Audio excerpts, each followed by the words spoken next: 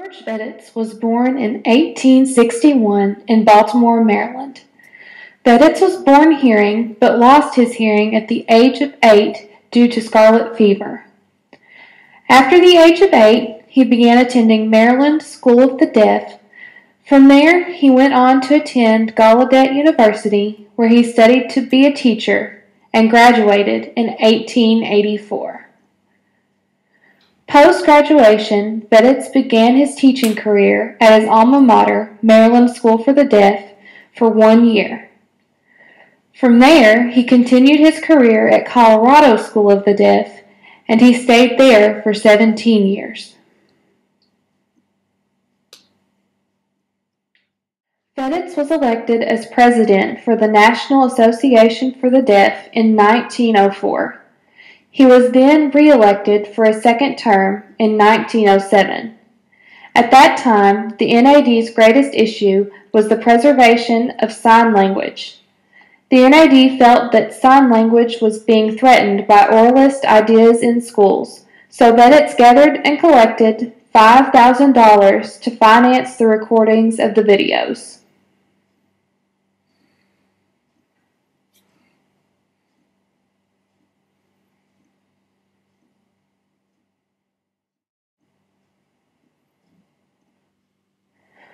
With the money collected, the NAD produced a series of lectures signed by master signers which later became known as Gallaudet Lectures. The recordings of the NAD are the first registry of sign languages done in the world. In the video, Veditz discusses the right of deaf people to use sign language, the beauty of sign language, and also its value to humanity.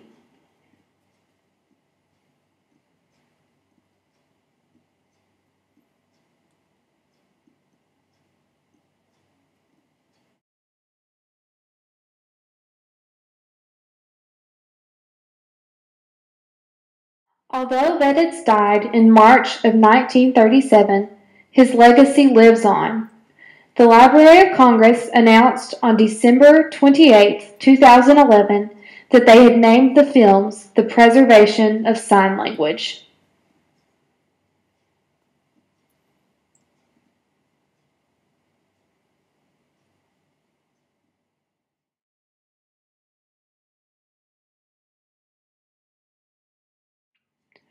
Robert Weitbrecht was born deaf in 1920 in California. Growing up, Weitbrecht went to a mainstream school and had difficulty learning to talk. Because of this, he was teased. Weitbrecht could lip read and knew very little sign language growing up.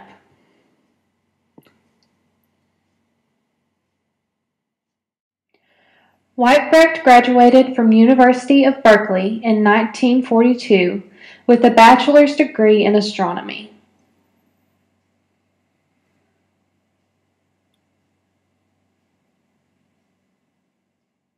He then went to the University of Chicago in 1957 and graduated from there with a master's degree in astronomy.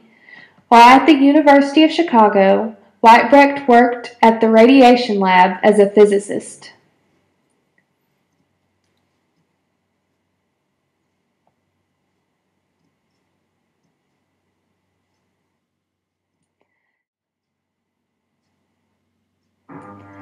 Then he worked as an electronics scientist at the United States Naval Air Missile Test Center. He also worked on the Manhattan Project.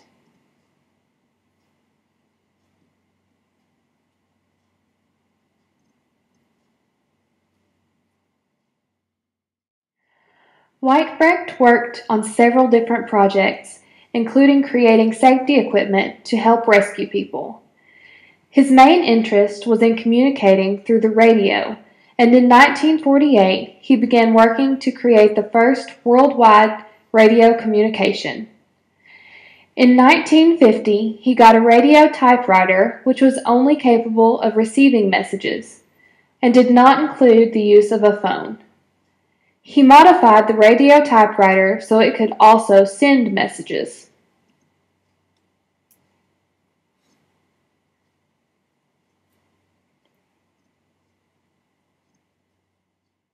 After people asked him to fix the radio typewriter so that it could be used on the regular phone line, Weitbrecht finally succeeded with the invention of the teletypewriter, better known as the TTY, in 1964.